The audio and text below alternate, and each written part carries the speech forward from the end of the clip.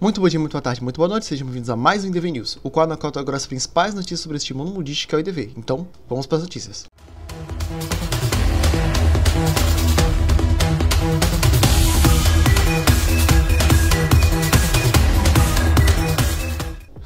Pois é, gente. Saiu pouquinho coisa essa semana, tá? Algumas novidades em relação a vazamentos, né? Enfim, como os avisos iniciais aqui, tá? Eu gostaria de dizer para vocês que eu voltei a postar gameplays aqui no meu canal com o intuito de ter vídeos todo dia aqui no meu canal. Já que tem segunda, terça e domingo eu não posto vídeo aqui no meu canal porque, digamos que é um tempo que eu tenho para mim. Mas assim, eu poderia preencher com alguma coisa ali que é fácil de, de editar, que é fácil para eu preencher, digamos assim. E aí nisso tinha as gameplays, né? Eu tentei postar uma gameplay lá da Gartner, eu sei que deu bastante view porque era do crossover, e enfim, o pessoal tava bem que hypado nessa skin nova da Gartner. Assim, apesar do desempenho dos meus dois últimos vídeos não terem sido tão bons assim como eu esperava, né? Enfim, gente, esse tipo de coisa acontece mesmo, assim que quem vem pra cá vem mais assistir conteúdos de curiosidades e notícias mesmo do TV. Mas assim, por mais pouca que seja a retenção, eu vou estar postando vídeo assim, basicamente durante a semana para poder completar e ter vídeos aqui todo dia, né? Porque eu quero logo alcançar a monetização aqui do meu canal. Enfim, basicamente é isso, tá? Então vamos para as notícias. Como tópico inicial, vamos falar sobre alguns emotes betas que não foram lançados pela NetEase, ou são emotes finalizados que ainda vão ser lançados pela NetEase. Enfim, vou estar explicando aqui mais ou menos pra vocês como é que funciona. Na conta do IDV News, tá? Que é uma conta lá do Twitter de onde eu costumo pegar essas informações, uh, ele mostrou, barra postou, né, diversos vídeos que mostram emotes de alguns survivals, e tem um, a Blood Queen no meio como Hunter, né? Que emotes esses que não existem no jogo, tá? Simplesmente os survivors estão lá fazendo uma animação que nem sequer chegou a ser lançada ou que ninguém nunca viu de fato. Isso às vezes é muito comum de acontecer, por exemplo, em trailers que a NetEase lança. Por exemplo, no trailer do Danganronpa tem, pelo que eu me recordo, o Monokuma ele faz um emote lá que o Bombom ele não tem, não é do crossover, tipo, acho que não existe aquele emote do Bombom. E é muito comum em trailers mesmo de skins NetEase colocar uns emotes lá que a gente nunca viu os survivors fazer e aí logo em seguida eles lançam esses. Mas enfim, vou estar tá mostrando aqui pra vocês, passando aí de fundo, né, enquanto eu falo aqui e vou estar, tá, acho que, deixando aí de, de detalhar o que emote seria esse do determinado personagem, do tipo, ah, tá aparecendo um emote aí do Emil, aí eu coloco embaixo escrito que é o provoke dele. Essas coisas não são vazamentos, tá? Não são como é que eu posso dizer? Não são informações que foram arrancadas dos servidores da NetEase e, coisa e tal. Alguns aí eu não sei de onde bem que as pessoas extraíram essa questão da animação. Mas, enfim, essas informações, a maioria delas vem da, de conta oficial do IDV mesmo, tá? Então é uma conta de uma rede social chinesa aí que não é o Weibo, não cheguei a pesquisar qual é o nome dessa rede social. Mas o IDV fica formando, postando vídeos lá em formato meio que de TikTok, uma coisa assim meio em pé, né? Uns vídeos assim meio que engraçadinhos, pra ser engraçadinho, pra ser bonitinho, enfim. Aí esses survivors estão lá fazendo os emotes que a gente nunca viu. Pelo que eu me recordo, o único que eu não sei o nome aí, porque o IDV News não colocou lá, e eu também não quis quebrar a cabeça para tentar descobrir, tá? Que é o emote do mercenário, que não dá para saber direito o que, que é. Daria pra chutar que é um shame, né? Que é o emote dele de envergonhado, mas pelo que eu lembro ele já tem um shame, então, enfim, fica aí nos comentários para vocês decidirem que emote é esse do mercenário. Mas novamente, tá? Só pra enfatizar, essas informações elas foram tiradas de uma conta oficial da NetEase, uma conta meio TikTok, onde eles postam vídeos engraçadinhos, então não tem nada a ver com vazamento, não tem nada a ver com leaks, tá? Tudo isso aí é oficial da própria NetEase, então é possível que esses emotes eles venham a ser lançados em um futuro muito próximo, ou simplesmente a NetEase se faça de louco e finge que eles não existem, tá? Como próximo tópico, tá? Vou falar aqui bem rapidamente de um mini evento de festival da neve, né? Não sei porque da neve, pra mim já, passo, pra mim já deve ter passado o Natal e essas coisas de neve há muito tempo. Mas enfim, deve fazer um, um evento aqui baseado nesse negócio de festival da neve. O evento em si a gente vai ter como recompensa um portrait, tá, do acrobata, então para você colocar lá na sua fotinha bem bonitinha. E a gente vai ter o retorno de alguns emotes de bola de neve, né, que são emotes que foram lançados durante o Coa 2 para os personagens Perfumer, Mercenário, Demadzai e Magician. Todos vão estar de volta lá na loja de Spyglasses, podendo ser adquiridos por Spyglasses, né? O evento ele tem início no dia 4 de janeiro. Beleza? No próximo tópico, tá, gente? Eu vou abordar aqui algumas outras novidades a respeito do Koa, tá? Então, algumas coisas eu vou deixar de fora, né? Porque saem uns conceitos, umas artes visuais mostrando mais ou menos como é que são as skins, bem como as armas dos personagens. Bem, eu não sei bem se eu, vale a pena estar tá mostrando aí pra vocês de fundo, né? Mas enfim, tá, talvez estejam aparecendo aí as skins tanto do Fister como dos personagens do Koa, né? O conceito design das skins, bem como as armas que os personagens vão ter, né? E é só agora que eu fui perceber mesmo que o Emil numa skin ele tá descalço, né? Né? Não quis colocar o Shello nele, né? Deus me livre. Enfim, mas como novidade, né, a NetEase revelou quais são as skins Bs que vão estar tá junto na essência do Koa, né? Como skins Bs, a gente vai ter uma skin B pro aeroplanista, né? Um boneco, pelo menos tá tendo um pouco mais de atenção agora, né, da NetEase, pelo menos pra ganhar a skin B, a Clerk, a jornalista, a An E o Lucky Guy, né? Que é um personagem que legal, né? A gente tá fazendo skin pro Lucky Guy, né? Quer saber que dia que eles vão fazer uma skin A pro boneco, né? Pra dizer que ele realmente é um boneco do jogo.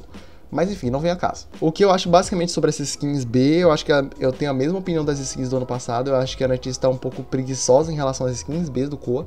Eu acho que já foram época, eu acho que depois do Koa lá da Grisha, né, que foi o Koa da cidade lá, luz, enfim, esse tipo de coisa, a NetEase pra mim foi com um pouco mais de preguiça de fazer skins B, porque as skins B de Koa, pelo que eu recordo, eles sempre colocavam um acessório, alguma coisa chamativa, mudava uma roupa ali, deixava mais estilizada num boneco, a ponto de elas parecerem até quase uma skin A, tá? Eu lembro que eu tenho uma skin B do Koa do Prisoner, que ele tá usando uma touquinha, coisa que é um estilo assim que vai completamente diferente de toda e qualquer outra skin que ele tem, e eu sinto um pouco dessa vibe nos Koa. Não tem para mim todas essas skins parecem um pouco recolor mesmo das bases dos personagens e não tem muita coisa de destaque assim, de diferente pra gente falar. Talvez em vislumbre assim no jogo elas fiquem um pouco mais diferentes, talvez a NetEase mude alguma coisa daqui pra lá, mas enfim, eu não curti muitas skins B, tá? Pra quem quiser saber. Ou desculpa, durante o evento do Koa também a gente vai estar disponível, né? Aquela coisa de sempre que eu acho que eu já falei aqui, portraits, grafites, uma comida para um Hunter e uma comida para um Survivor e um emote especial de salute, né? De saudação para o Hermit.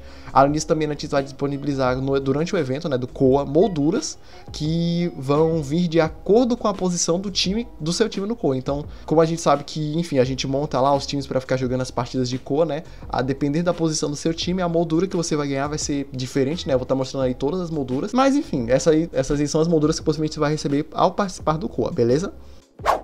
Como próximo tópico, né, como eu tô falando aqui, não teve tanta novidade assim em relação a coisas do IDV essa semana, a gente também teve a divulgação dos, da arte, do conceito design da skin de Lost Path da AN. A minha opinião sobre a skin permanece a mesma, não, não curti tanto assim ela, não me cativa tanto, porque eu, talvez porque eu não seja tanto bem AN. Mas enfim, uma coisa que eu achei bem interessante é o destaque do acessório B dela, que eu não lembro se eu já tinha mostrado aqui no canal ou não. Mas o acessório B dela vai ser um guarda-chuva, bem como a arma dela também vai ser um guarda-chuva fechado, isso eu achei bem interessante.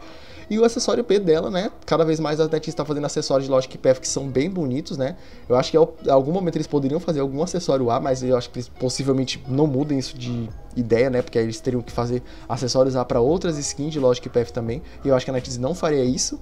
Mas, enfim, tá? O acessório dela a B eu achei lindíssimo, provavelmente vai combinar muito com a skin. Mas enfim, né, gente? É um acessório B. Se fosse A, a gente tava até pagando pato para isso. Mas enfim, também foi mostrado o conceito design dos acessórios, né? O S, que vai, para quem não sabe, que é os acessórios de rank da próxima season. A gente vai ter um S pro violinista, um A pra leader e um A pro novelista. Vou estar tá passando tudo aí de fundo. O S do novelista, parece que ele vai mais combinar com a skin do Inferno Sonata. Então ele vai, provavelmente ele vai ter efeitos de lava, alguma coisa assim do tipo, pra, pra poder combinar com a skin dele, S limitada dele, né? Enfim, eu não tenho skin S limitada, então vou ficar só chupando o dedo mesmo com relação a isso. Mas eu quero muito pegar acessório do violinista. O A da leader parece que é uma mais rosinha para combinar com a skin S limitada dela também. E o A do novelista foi o que me deixou em dúvida com relação aos efeitos, com relação ao que, que a Leonard está querendo propor com esse tipo de coisa. Enfim, né, se vocês tiverem alguma opinião sobre isso, comenta aí embaixo, que eu sempre gosto de ler os comentários de vocês, tá, gente? E por fim, né, como último tópico, a NetEase divulgou todo um calendário, né, o calendário desse mês de janeiro, que eles resolveram fazer uma repaginada, um novo design para os calendários. Eu acho que eles, não sei se eles fazem isso todo ano, mas enfim, o calendário desse ano tá bem bonito, tá bem estilizado, né? Eu vou falar das datas a partir do dia de hoje, né, que eu tô gravando, porque o que já passou já passou, né? Então não sei se vale a pena falar sobre isso. Na quarta-feira, né, que eu acho que é hoje que tá saindo o vídeo, a gente vai ter o aniversário da Enchantress. Eu acho que não, eu não sei qual é o número de aniversário dela, tá, gente? Mas vai ter o aniversário da Enchantress. No dia 11, né, vai ser o começo da nova season, tá? Mais especificamente do dia da atualização da quarta-feira do dia 10 pro dia 11, a gente vai ter o início da próxima season e com isso a primeira essência do Koa vai ser aberta, né, para que você possa abrir ela, enfim, ver qual, qual skin que você vai ganhar, esse tipo de coisa. No dia 12 a gente tem o aniversário do Lawyer, no dia 13 o aniversário da The Mind's Eye, no dia 18 parece que são as fases preliminares para a competição do Koa, então no dia 18 vão começar, vai começar de fato a competição do Koa e talvez eles abram aquela loja de maçãzinhas pra gente poder pegar um acessório ou poder ganhar maçãs durante a competição do Koa. Enfim, gente, aquela coisa de sempre com relação ao Koa, tá? No dia 21 a gente vai ter aniversário da Clerk, que é o primeiro aniversário dela, esse eu já sei, né? Fica mais fácil. Eu acho que é o primeiro dela, tá? Enfim. No dia 24 a gente vai ter o aniversário do Fister. E no dia 25, né, a gente vai ter o, o retorno do crossover do IDV com o Kawatai Moon. Mas enfim, gente. Por fim, né, gente, eu vou deixar isso aqui como um tom de fofoca, tá? Um tom de vazamento mesmo. Eu acho que eu não vou querer me aprofundar tanto nisso aqui, porque vocês sabem que o IDV ele já deixou bem restrito com relação ao que, que ele acha da, de contas de rede social que falam sobre vazamentos a respeito do jogo. Então eu tô meio que me arriscando aqui por vocês, né, e pela novidade, sim, pela informação tá? Porque eu sei que se eu não trouxer alguém vai trazer de qualquer jeito, mas enfim, eu sou só mais um aqui mesmo. Foram encontrados arquivos dentro do jogo que fazem suposição ou comprovam, né, que o próximo crossover que a gente vai ter, que não sabe se é de loja, se é de ciência, enfim, vai ser do Little Nightmare, né? Pra você que não sabe, Little Nightmares é um. Enfim, a gente não tem bem como explicar Little Nightmares, tá? Eu sou meio que sou fã dessa franquia, mas o jogo ninguém fala nada. Não tem meio que um escrito ali, não tem uma história pré-definida. Você mesmo que joga o jogo e cria suas próprias teorias ali a respeito. A gente tem a personagem principal que é a Six, e os arquivos encontrados dentro do jogo fazem menção a esse nome, que é a Six. Por isso o povo juntou ali os pontos, né? Porque o Little Nightmares é, um cross... é uma franquia cotada para ter crossover com o IDV, daquela lista imensa de animes e coisas que poderiam ter o crossover com o IDV. Os arquivos também faziam menção que essa skin poderia vir para a personagem Little Girl, que eu acho meio ok, tá? Do, não é que eu não seja tão fã assim da Little Girl, mas enfim, como a Six é baixinha, assim, os personagens têm essa característica de serem mais diminutos, esse tipo de coisa. Eu acho que não caberia melhor para qualquer outro personagem que se não fosse a própria Little Girl, né? Enfim, por favor, que seja Little Girl, só isso que eu peço, não tem. Fora isso, né, com relação a Little Nightmare, como eu falei que eu gosto muito da franquia, a gente pode teorizar outras coisas que poderiam vir no jogo, né? Porque eu acho muito difícil vir só uma skin de loja, não, nós, sim, não duvido tanto assim da NetEase. Eu acho que o crossover vai ser sim de loja, e a gente pode também teorizar a respeito de outros personagens que existem no universo de Little Nightmares que podem vir ou não ao jogo. A gente tem a Delayed, né, que muita gente chama ela de Geisha, que poderia ser a própria Geisha do DV, mas enfim, também não quero tanto assim porque já acabou de vir skin pra Geisha, não sei se a NetEase faria ou não mais uma skin pra ela.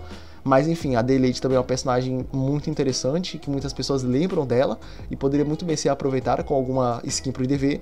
E da DLC do primeiro Little Nightmares, que é o que eu tô me baseando, é no primeiro Little Nightmares, a gente tem o The One Away Kid, que é um personagem da DLC que foi lançada pro Little Nightmares. Ele é meio enigmático, né? ele tem a historinha lá dele, enfim. Ele poderia também ser algum personagem, não sei bem quem, ele, quem que ele poderia ser, já que ele, enfim, como características de ser diminuto, esse tipo de coisa, eu não sei como é que ele ficaria no jogo. Mas ele também tá aí como personagem do Nightmares e talvez ele possa ser, talvez ou não ele possa ser aproveitado. Enfim, gente, foi tudo isso que saiu essa semana, tá? Me desculpe se eu não parecer muito animado aqui, as coisas estão um pouco complicadas, né? A gente cria expectativas de como é que vai ser o nosso próximo ano, enfim, esse tipo de coisa. Tô aqui trazendo vídeos de informações como sempre tô fazendo para vocês, tá? Se você curtiu aqui meu vídeo, não se esqueça de dar like, compartilhar, comentar alguma coisa aí embaixo caso você não tenha entendido, para que eu possa explicar melhor ou só para engajar o vídeo mesmo. Se você quiser, puder, me apoie financeiramente tornando-se membro aqui do meu canal. Uh, não se esqueça de na minha descrição aí tem um link pro meu Discord, onde lá você pode bater um papo legal com alguém. De vez em quando você pode jogar com as pessoas, até jogar comigo também, que de vez em quando dá uma aparecida lá. Eu acho que basicamente é isso, tá, gente? Não mais tardar.